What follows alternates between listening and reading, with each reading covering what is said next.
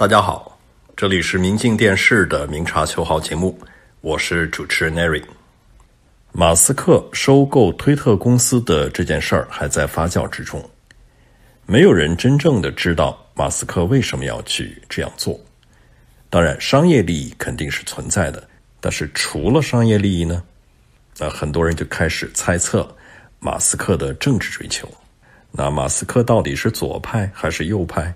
是对手还是战友呢？马斯克曾经是奥巴马总统的支持者，在二零零八年和二零一二年两次总统大选，他两次都是投票给奥巴马总统。但是在最近的一次推文中，他表示说，在民主党内部已经找不到我的代表了。马斯克用一幅图画表示说，其实我的政治立场没有变。但是呢，左翼越来越极端化，按他的原话说，是被极端分子绑架了，所以我现在反而显得是右翼了。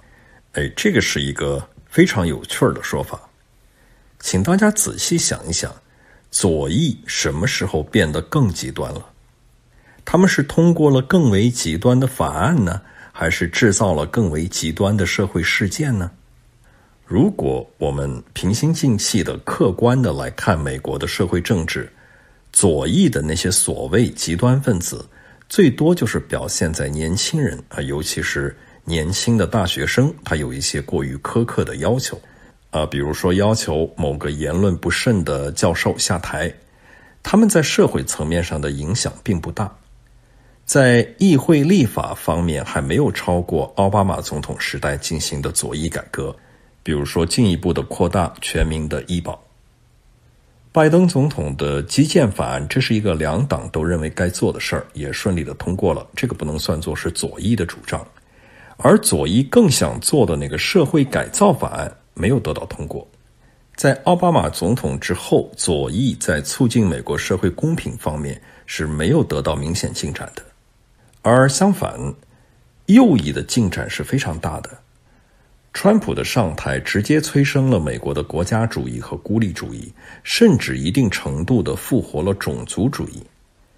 大规模的减税并没有真正的促进经济的发展，也没有使美国企业回流，相反使政府的债台高筑。奥巴马医疗覆盖的内容被一点一点的蚕食掉，而最近又可能要推翻 Roe v. Wade 的判例。使美国女性生育权问题上要倒退半个世纪，所以平心静气的说，尊重事实的说，从川普上台的二零一六年开始，左翼就没有变得更左，反而是右翼取得了长足的进展。也许有些人会提到这个 Black Lives Matters（BLM） 运动，但是这个运动呢是偶发的，是针对这个弗洛伊德被活活跪颈而死。啊，爆发的长期积累下来的美国的种族矛盾，也许其中有一些像推倒雕像的做法比较极端，但是呢，也有情可原。为什么说有情可原？我举一个例子，比如说，你想象一下，你自己是中国的扬州人，如果在扬州树立一个伟大的满族皇帝的像，你肯定会觉得不愉快。因为满族那个王朝的辉煌和我扬州人有什么关系？我是被杀的。同样的，美国白人的独立运动当然是十分伟大的，但这种伟大对于我一个一直被欺压的黑人有什么意义呢？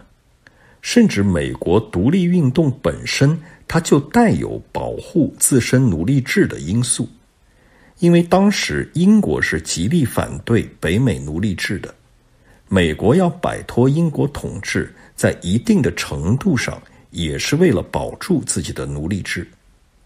所以，只要你肯把自己带入黑人的角色和历史，你就不难发现，BLM 运动中的很多过激的行为，包括甚至推倒华盛顿的像，它背后都是有可以理解的原委的。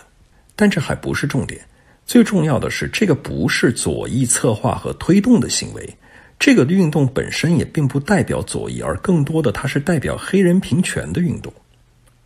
再说了，川普煽动的一月六号攻打国会山的事件，Charlottesville 游行的那些举着火把的种族极端分子高喊“犹太人不能赶走我们”的那些运动，他们的猛烈程度和造成的社会混乱度，都要比 BLM 要更猛烈，甚至是动摇美国国本的。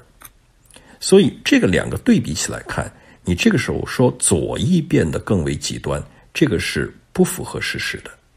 那么，客观的说，如果排除小范围的极端人士的做法，左右翼相互对比各自的进展的话，应该说右翼在立法和制度的层面上的进展比左翼要大，而左翼呢，在社会文化上和右翼爆发了更为激烈的冲突。但是绝对无法说是左翼变得更为极端。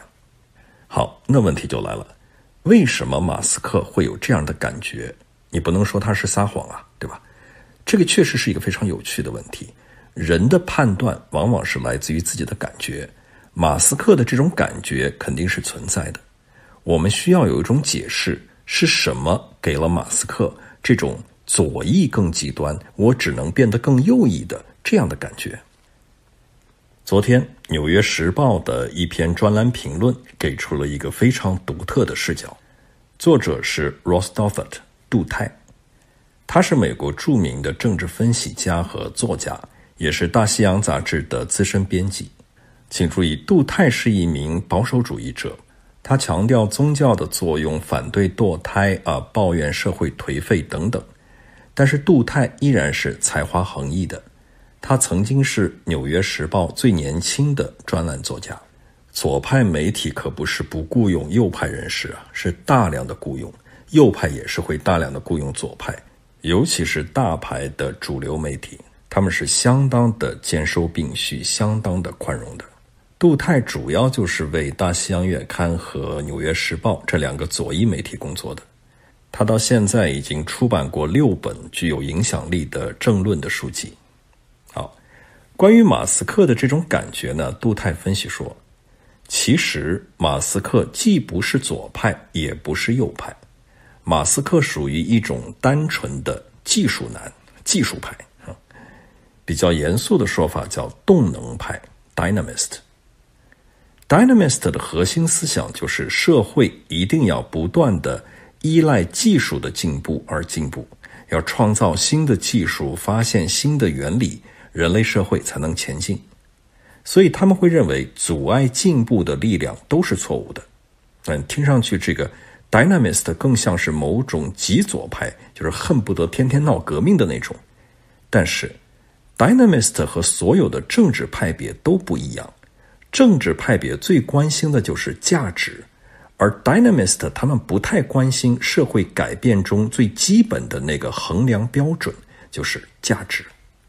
什么是对的，什么是错的，什么能做，什么不能做？Dynamist 不能说是完全不关心，但是他们更关注的是谁都不能阻止技术的进步，啊，这个有点类似于像发展生产力就是硬道理这一类的观念。比方说啊，如果国家集中投资高科技企业，那 Dynamist 就会认为集中力量办大事的制度真是好。如果是为了保护隐私而拒绝数据的共享，Dynamist 就会认为啊，隐私权其实并没有那么重要嘛。实事求是的说，我自己时常都会觉得我有点迷恋这种技术进步，但是好在我清醒的知道 Dynamist 的弱点在哪儿。这种动能派，所谓 Dynamism，它有一个潜在的前提，就是人善论。他们首先假定人是不需要自我规定价值观，不需要在价值观的指引下发展自己，而只要发展就是好的，结果就一定是善的。所以极端一点讲，这个 dynamism 不会反对进一步研究原子弹的，谁知道呢？呃，说不定哪一天原子弹发展到一定程度，可以开启星际旅行呢，对吧？但这种缺乏价值观引导的发展是非常危险的。在 dynamism 面前，政治原则、社会稳定、道德秩序都是可以让步的，这个是非常危险的。好，理论就讲到这儿。那么具体到马斯克到底发生了什么？好，问题出在了言论自由上。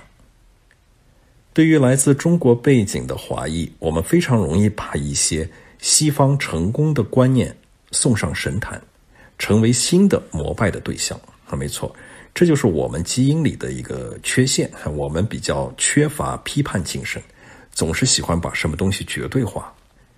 言论自由确实对于中国的进步来说是非常重要的，但是言论自由本身不能够被记上神坛。言论自由也是有边界的，也是需要反思的。